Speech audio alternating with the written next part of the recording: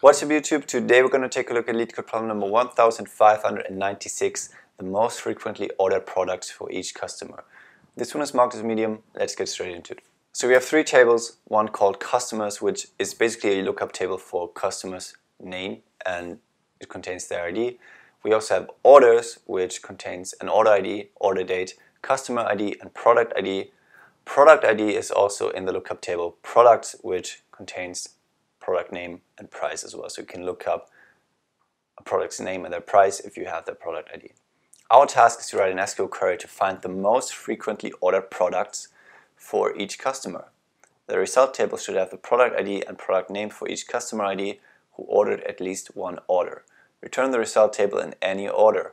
The query result format should be the following, customer ID, product ID, and product name. So since we have three tables and two of them are lookup tables, which just give you information about the customer and products based on their corresponding ID. We probably want to focus on orders because that's where we know which customer ordered which product on which date. So the problem seems quite simple. It's just about finding the most frequently ordered product for each customer. So let's in, get into counting up which customer bought which product, how often, right? So we're going to select from orders and we're going to select customer ID and product ID, right? Because we want to count by customer ID and by product ID. And each row should be one order, so we could just use a placeholder here, but Imagine there would be duplicates in the table. Let's use distinct order ID so we don't count the same order twice. All right. We also need to group by customer ID and product ID when we make that count. And let's see what that gives us. Gives us just some IDs, pretty hard to read, but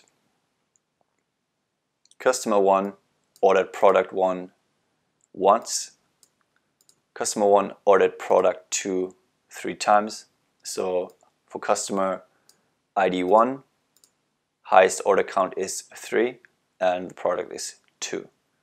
And it appears in the expected output product 2 for customer ID 1, which is mouse. We didn't make that lookup yet, but we can always do that using the product lookup table. So now we have the count for each product being ordered by each customer, but how do we find out which is the most frequently ordered one? Basically, whenever you get this kind of question, it's pretty much about coming up with an ordering per a certain field. In this case, it's customer ID. And then taking the number one value in that order table. So that's what we're going to do here and we're going to use a window function called rank which is probably the most popular window function and is one you should probably know because it makes it very easy to select the number one x per y which is what we're doing here. So let's put that into a subquery, call that order counts Let's also give that counter name so it shows up as a well-structured column and not this long command name. Let's call this one order count without the S. And let's try to create that ranking. So we're going to select customer ID, product ID again, and now we're gonna come up with that count. So we're gonna use the rank window function following the window function syntax of using our window function, the over keyword, and then in brackets partition by, order by, where we define what we want to partition our window by and what we want to order that window by.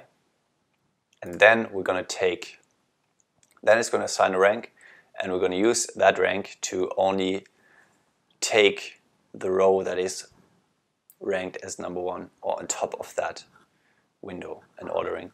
So let's just do it and do an example output so you can see. So we're going to partition by custom ID. It basically works just like a group by, but for that window. So we want to create this ranking for each customer ID because we don't care what other customers ordered when we try to find the most frequently ordered product per customer. We only want to look at this customer.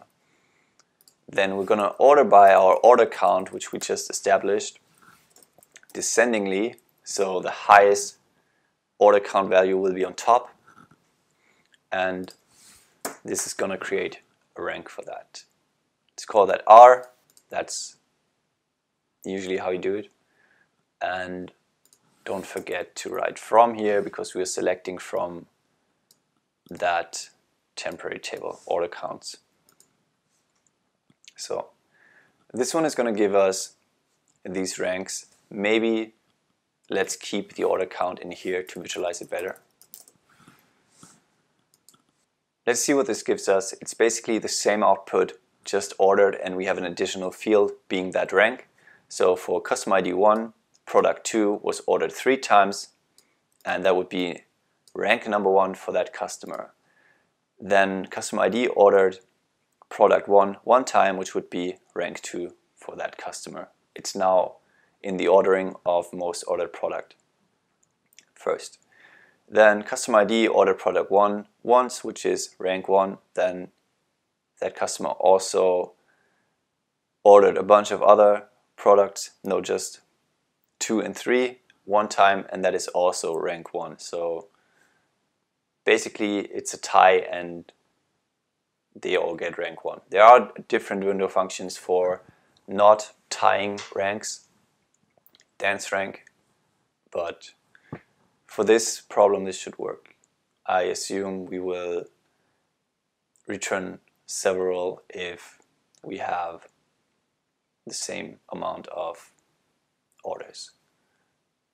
Judging from the output table, uh, output example, it's the case that we should output three values for custom ID2 because they all have the same order count, these three products. Okay, so let's maybe keep that and put that into another subquery.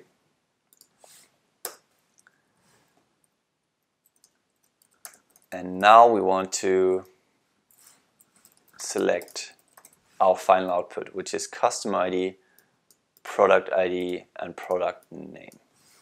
So let's select custom ID, product ID, product name, which we need to get from the products table.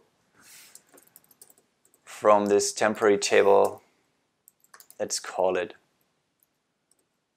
order counts ranked because it also includes the rank now.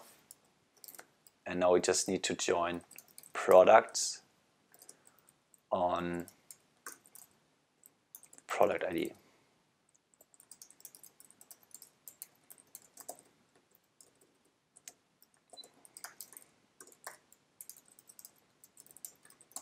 Okay.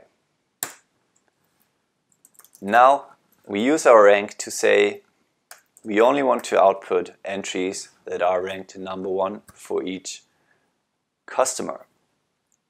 And that way we only get the most frequently ordered product for these customers. And that's pretty much our final solution. So let's see if this works. Column product ID is ambiguous because it appears in both products and our other tables, order, order counts, order counts ranked.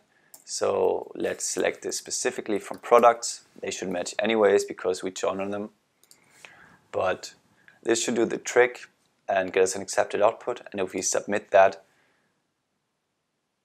it's also an accepted, an accepted solution. So that's pretty much it for that problem.